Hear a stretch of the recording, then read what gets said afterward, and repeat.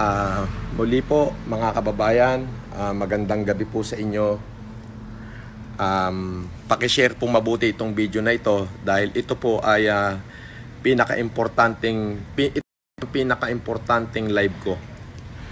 Ah, paki-share po. Alam niyo po, ako po ay katatapos ko lamang pong panoorin ang ah, live o ang ah, medyo delayed na po katatapos ko lamang pong panoorin ang live ni Mayor Isko Moreno. Mayor Isko, um, nararamdaman ko yung pagiging mabuting pinuno mo, Mayor Isko. Ah, Mayor, marami na rin po akong commitment sa buong Pilipinas po at ah, dahan-dahan ko pong pinapacilitate yung mga bigas na akin pong ibinabahagi sa mga taong bayan. Ah, pero narinig ko po kayo kanina, Mayor Isko, ah, yung inyo pong tangis, yung inyong hinagpis bilang isang ah, bilang executive ng inyong ng ng ng lungsod ng Maynila eh, na talaga pong gustong-gusto nyo pong tulungan ng Maynila, Mayor Isko. Talaga pong parang ang Maynila po ay kayo. Parang kapag yung sugat ng kapraso ng Maynila ay sugat ding nararamdaman sa puso nyo. Mayor, yayabangan kita ngayon, Mayor Isko sa ayaw at sa gusto mo, Mayor Isko, kahit na hindi mo sabihin sa akin, Mayor, pupuntahan kita sa ayaw at sa gusto mo. Magdadala po ako ng isang truck na bigas para sa'yo.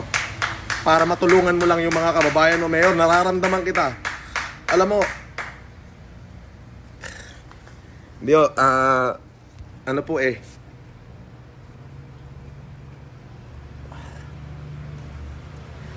Nara, nararamdaman kita, Mayor alam ko mahal na mahal mo yung mga kababayan mo, ganun din naman ako.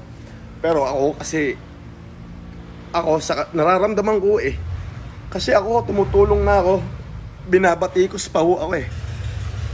Pero Mayor, tanda mo inspiration kita. Matigas ako.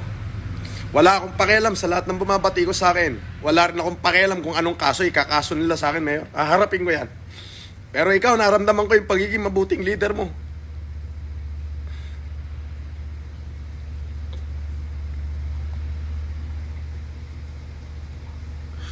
Naramdaman ko may pagmamahal ka sa tao mo.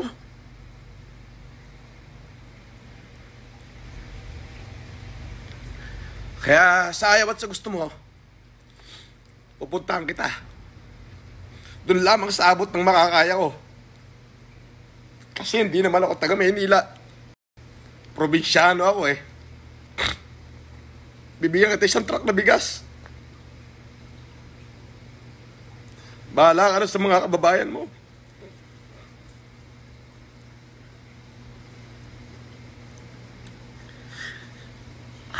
Mabuhay ka, Mayor Isko Moreno.